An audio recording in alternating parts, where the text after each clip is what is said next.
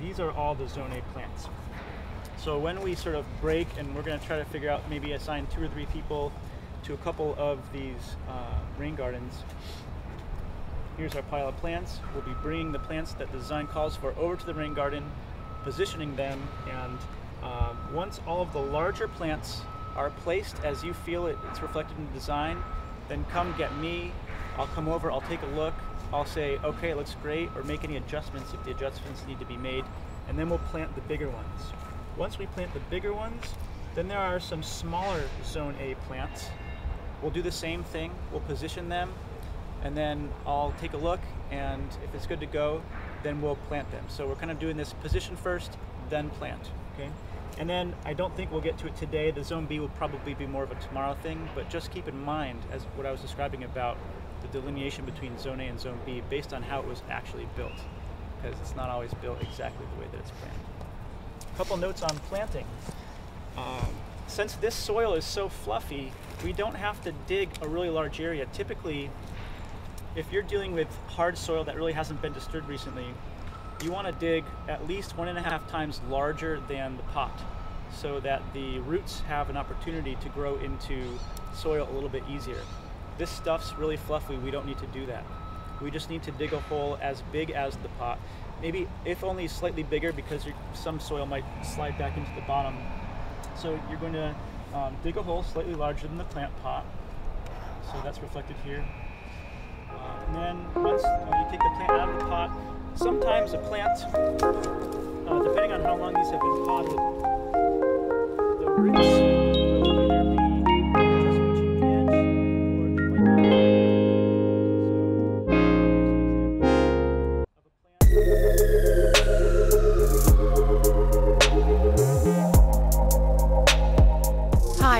Leslie Rollins for Earth Village, and I'm interviewing Pandora Patterson, the founder of Earth Village, who is uh, here at Veterans Village, a uh, an incipient neighborhood for homeless veterans in Clackamas County. Um, so, tell me about it.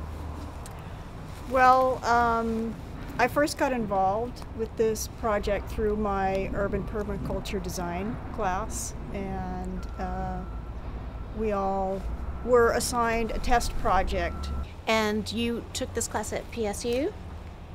No, there's another um, there's another class that also worked on the design. That's a class of PSU students, mm-hmm. but I worked on it through City Repair or Planet Repair they have a permaculture design course that they do every year. And it's urban permaculture. So we did a lot of uh, urban type projects. Um, and the Veterans Village, they wanted to incorporate some of the permaculture pr- principles in that. So they had different classes put in different ideas for the design of it. Nice. So they had a input from many places to put this together. They did. They had architects, yeah. mm-hmm. and uh, gather they had the Pickathon supplying building materials after they tore down their Pickathon stages. Right. Yeah. So the the actual building design was done by um, a group of architects to kind of promote the project, but there were a couple of different alternative building designs. Uh, one we'll show later is um, designed by the PSU students. And then my design team with the permaculture class, we designed our own building. So it's kind of neat to see these different design options and how the functionality would be for the different vet- veterans that might be living here. It's what I'm seeing here. It looks as if the gutters go down underneath and come out into the swale. Yeah, they so go into the swales that way. Yeah, yeah. Maybe so they, maybe the county wanted the flood control. They did. Yeah. Right. No, um, I just did. Uh, my design team actually did. We ended up with three designs, so we wanted to do a couple of fun designs just to kind of stretch the limits of what we could do in the class and have a little bit of fun with it. Uh, but yeah, the rainwater was going to go above ground where you could see it mm-hmm. um, as little kind of river paths. But um, yeah, we the they ended up doing something that was a lot more functional. Um, and I think it's going to work out nicely because you kind of want to keep it simple for the Slow new people maintenance. that are yeah the new people are going to be moving in. I think there's 15 veterans going to move in in two days from now. I wonder if they're going to plant trees to screen out the industrial views.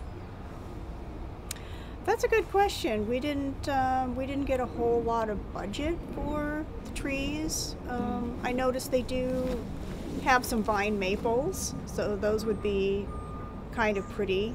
And i don't know if we'll end up planting those along the edges or um, if they'll go in the center uh, some people on the committee city repair meeting the other day said they thought some of the trees should go in in the center here but we do have the light poles in the center too so i'm not sure how those vining maples would do do in there um, they just went and picked up the plants a couple days ago so we didn't really know what we'd get i had a whole species list but we weren't really able to go exactly by that we had to just get what we could get at pick up at the last minute Do you know what they did get?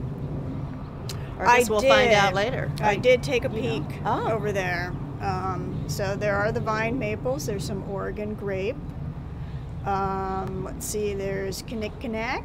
There's some wild strawberries. Um, Kinnickinnick, what is that? It's a little uh, kind of ground cover with little round leaves. Um, let's see. Oh, you mean bearberry? I'm not sure if that. There could low be- and it has little round berries and it spreads It could ground there cover. could be a lot of different names for for the different common names or Mm-hmm. yeah, the common names. We should be using the scientific names. That's all right. Uh, let's see, what else did we have? Oh, there was some there was some bulrush and some other rushes so that we could In the swale. Yeah, put in the swale the the water type plants. Yeah, there might be a couple other things that I Nice. that we'll come across later that I didn't notice. They could use a berm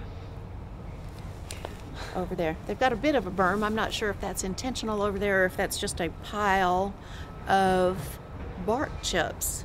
But in fact, if they could mound the earth and then plant things along the top of it, you would not know that there was a factory there and a yeah, it's a cement, block a cement plant that's next Yeah. door. Yeah, so that does look nice that that covers up the fence. Mm-hmm. What that what that actually is is they had landscapers come and drop off wood chips here, just mounds and mounds of wood chips. so it's And- Mount Wood chip. Yeah, and ap- after they spread out all the wood chips, they had that many left over, which these will break down, and then they'll be putting these out here again to kind of renew it. They'll use them all up. But If I lived here, I would invite people to come and dump their excess dirt. If they excavate a basement, we've got a place to put your dirt. Let's just make ourselves a little berm. You know, give us That's a little not a bad idea. three-dimensionality to the kind of landscape. Yeah. Um, it would be beneficial to all concerned. Right. Yeah, because we had thought about putting plants around, you know, the perimeter, but that berm idea is pretty. If you have a berm, you don't need as many plants. Yeah. And you have a little green hill. And then down on this side there, it goes actually down the cliff. So A cliff. yeah, so we're actually on top of the berm over here.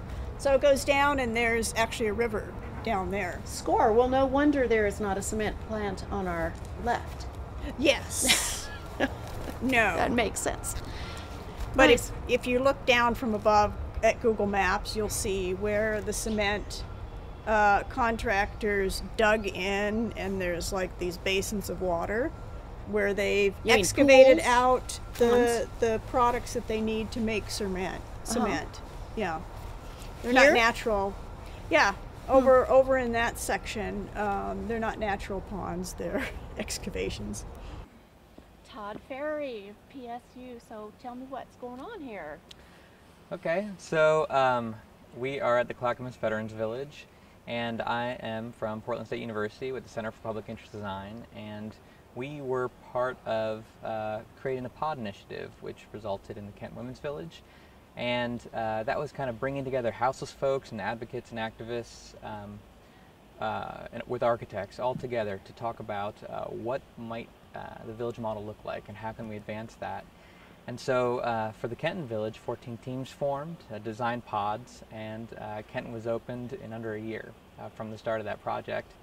One of those pods was called the Safe Pod, and it was designed by SRG, which became the prototype for the pods that you see behind you here at the Clackamas Veterans Village.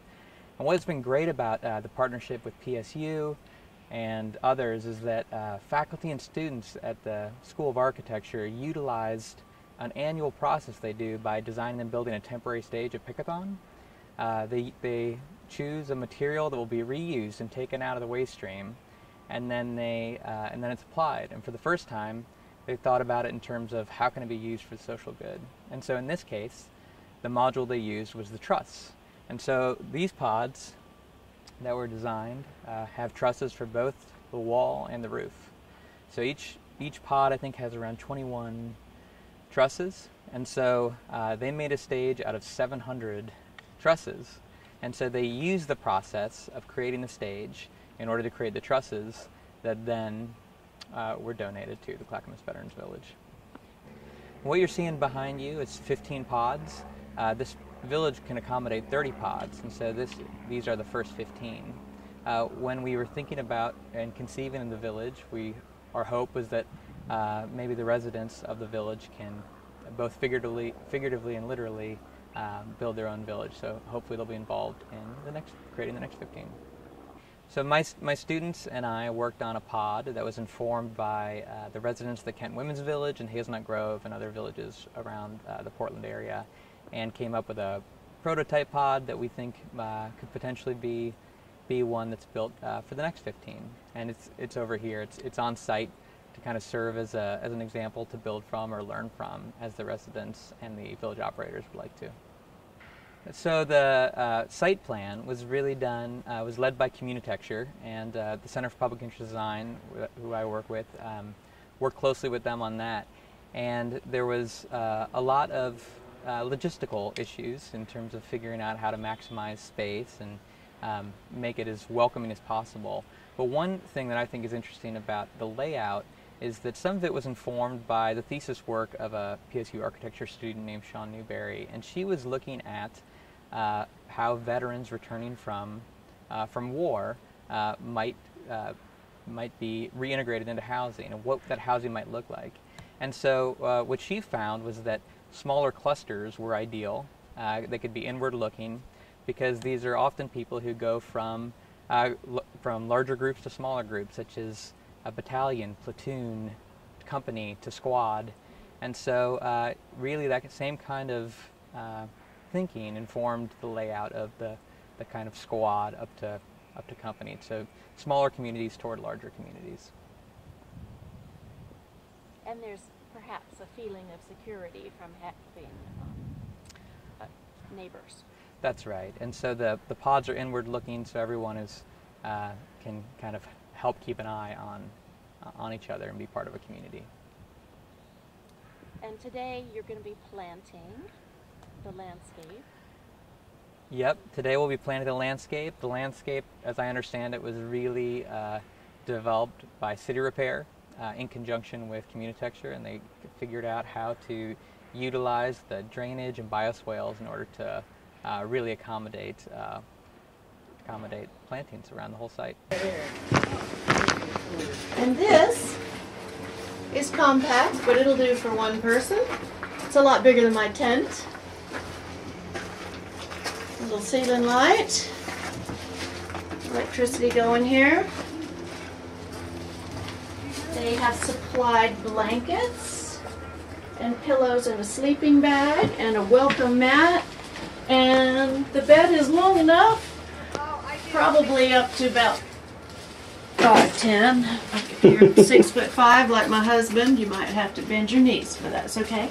And um, I noticed because they built these from trusses that were given to them from Pickathon, um, it looks like they're going to put a little shelf here or maybe a bench But again, it gives you a little more lean back room and there is a closet rod here and I notice that this inset gives room for the shoulder of your clothes. They don't have to hang this thing in too far into the room and take up your floor space. So that's a that's an economy. They'll probably hang things from the rafters. So Matt Yes. Bibeau, you are with City Repair Yes. Doing the landscaping part. How is that how is your organization affiliated with this ho- homelessness relief project? Sure. So, uh, City Repair as an organization has been supporting uh, homeless villages in Portland for close to 20 years. Dignity Village was one of the first ones in a national model. Um, And, our and what did they do there? uh, Dignity Village uh, was a and is a homeless village that was really built by the community. Uh, the city provided a piece of land for the village to reside on, and um, it's one of the most sourced, I think, examples of this kind of housing solution. Let's call it a temporary housing solution uh, for homeless individuals. And um, in the last five years, there have been a lot more projects coming up in the area. Some supported by the city and municipality, and some that are a little bit more rogue. And this one is obviously an example of one that uh, is strongly supported by Clackamas County, and uh, has a significant amount of infrastructure that reflects that support. So, City Repair, uh, as it relates to this particular project, was one of a long list of partners, which include a lot of um, architects and other groups that um, found a way to support this project moving forward. So I know that Mark Lakeman and his design firm Communitecture um, built one of, um, I think it was maybe a different village, but they've been involved in the design and building of some of the pods. Uh, City Repair has supported some of the organization around getting volunteers to come here and uh, helping share information and generate support for this kind of project. So and, yeah. whose idea was it originally? Was it that the county wanted to do this or did someone propose it to Clackamas County? Honestly, I'm not sure where the idea came from. Uh, it seems like at some critical juncture it received significant county support. And I actually remember seeing a, a county newspaper for Clackamas County, and there was a very large spread in that newspaper that listed every single one of the county commissioners with their photograph Yeah. with a, a lengthy quote of their support for this project. So it's really awesome to see. Uh, I think partly the groundswell of support over the decades and years to get to the point where uh, cities and counties can really take a, a solid uh, effort at building something like this. This is, I think, to my knowledge, an unprecedented level of municipal support. So that's really cool. It's huge. And I was reading that they have about a hundred veteran homeless in Clackamas County and that they were hoping for this ultimately to house 30, but they said they were hoping by next year to have all their um, military veteran homeless housed.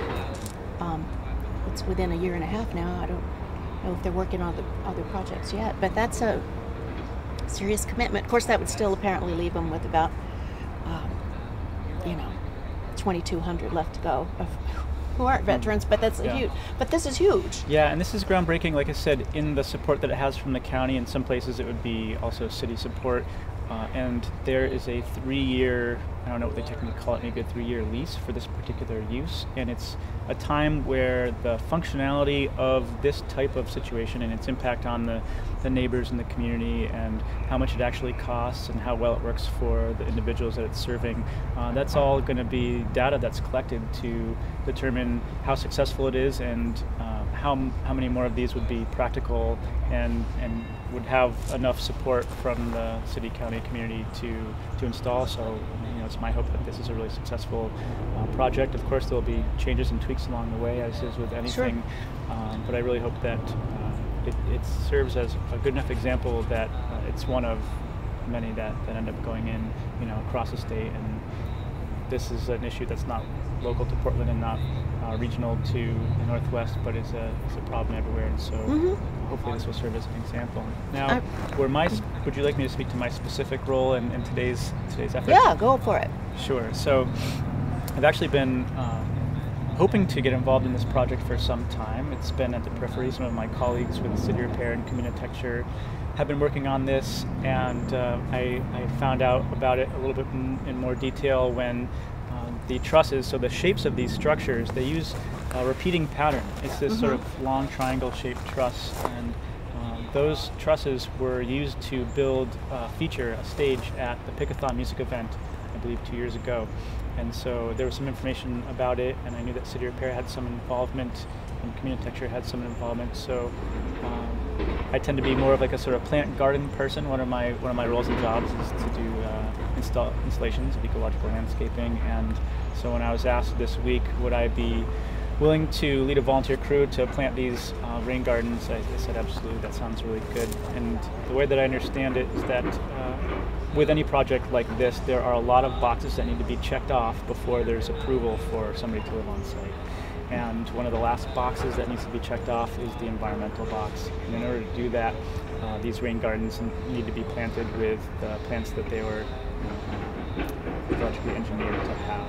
So and on the building plan. On the, on the, plan, yeah. So so I received some plans and uh, put in a large plant order, and uh, my colleagues and I. Uh, yeah, you said you a, had a two thousand plants. I think there are about a little over two thousand two hundred plants that mm-hmm. were spec for these six rain gardens, and so uh, it was sort of last minute, but everything came together really well. And uh, we have a class. Uh, Todd, who's an instructor at Portland State University, has been involved in this project from the beginning in various uh, ways, and he's brought his class out to help at various times. And so his class is here today helping us plant. And our goal is to get the plants in the ground as close to the plants as we can, so that uh, when Monday comes around and Building the person inspector comes and checks, it's all uh, good. Uh, they they like what they see and they can get their approval so that feds can move in on time. So yeah, I'm really happy to be involved and just love uh, the opportunity, not just to plant the plants, but also to take the opportunity to teach people a little bit about the plants mm-hmm. and planting and the function of a rain garden and how all these structures here, every structure on site drains into a rain garden.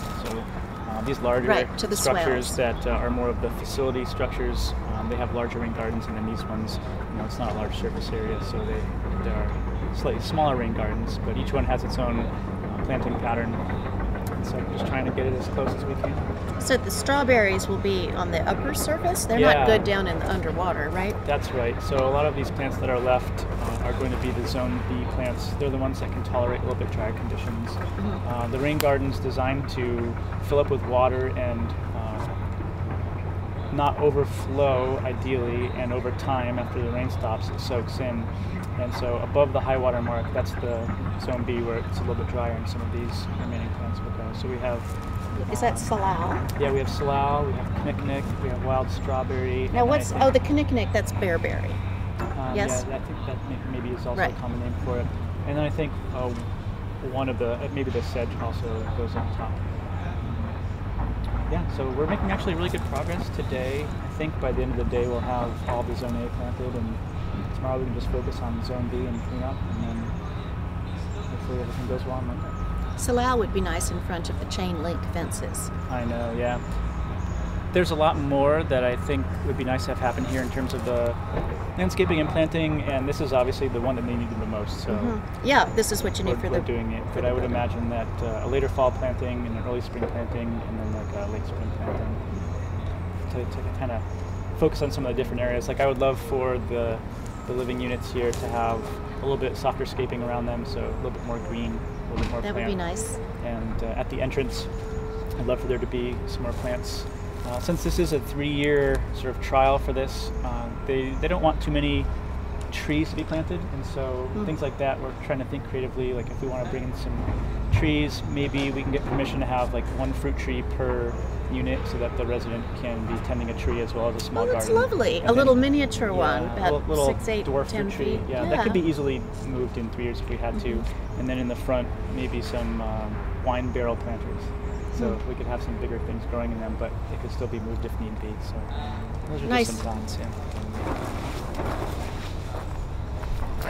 Um, so last year, the one of the courses I teach in is a permaculture design course, and there was a group of students who focused their design project uh, on this site. So they did a planting plan, considering not just the ecological function, but also the edibility. So in permaculture, I we believe like to, Pandora was Yeah, working. Pandora was one of those uh, team members, trying to balance the ecological and human uh, benefit of the, the planting plan. And so I'm hoping that after we get through this very necessary phase of getting the rain gardens uh, taken care of, that we can look at some of the other places and be addressing you know, growing food on site, um, having there be more perennial plants that are food providing, but also providing more ecological function and green this space up because it's a beautiful space and it's so amazing that these structures are here and uh, it's basically like units and wood chips and path surfaces and I really like to see things get greened up and so there's a lot that we can do for the aesthetics, for screening from the surrounding industrial uses, aromatics, all kinds of things that we can do to have this be a really great experience for the Some vets that are living grapevines, here. maybe. And also it'll bring in nature and so there'll be just Yeah. more birds and That's so that's lovely. hope, yeah. It's it's great. Is that a cherry tree right there? I'm not sure. It could be. It might be a Dark native cherry. cherry. Anyway, good. Thank you very much. Yeah, my pleasure. So pleasure. nice to meet you. Yeah, happy to be here and thanks for helping today. Appreciate it. Robert is a veteran who has come by to look at the place with some friends who says he's thinking about moving here maybe in three months or so. Right. And what changes for you in three months? Uh, getting uh, my disability and stuff. So I've got to have something to start on. Where are you staying now? I'm staying at the Do Good Shelter off of Sandy. So, what is it about this place that is attractive to you? Well, you've got your own little room. You ain't got to share with uh, 20 other people. That's true. And it looks like you've got a friend or two over there who might want to be moving in as well. So, you would have the neighbor who you knew. I have a few of them. Would you pay rent here or would it be free compare, as compared to the shelter? Does it, that make any difference to you? Uh, it doesn't make no difference. and how would you get from here to places? Would you walk to the store? I'm gonna have to uh, walk up, catch the bus, go to the stores or whatever. So there's bus service nearby. Uh, yeah. Nice. So would you have a disability cabin? Do you have difficulty walking? Or, or would one of these be fine for you? Uh, this will be fine. I don't need wheelchair ramp or anything like that. have you picked out one of the No. sleeping pods that you would prefer? I mainly No. want away from everybody. Is that right? Yeah, your friend says he wants number 30. Anyway, nice to meet you. Nice meeting you. Y'all have a nice day. Thank you. So it's Sunday, the day after mass planting, and almost all the plants are in. There are only a few left, but they've got in the ones that are necessary for the building inspection inspector. Um, and you see, they've got Oregon grapes starting to turn red for the fall, and strawberries. Uh, Kinnikinnick, which I know is bearberry, has a little red berry. I guess bears like them. What doesn't a bear like, after all? I don't know. Little Wait, native roses. Yeah, that's the nu- the Nootka rose and Salal. So yeah, basically we just had to get the swales um, for the rainwater catchment uh, planted, and that's all we're doing today. So we will catch you next time on Earth Village.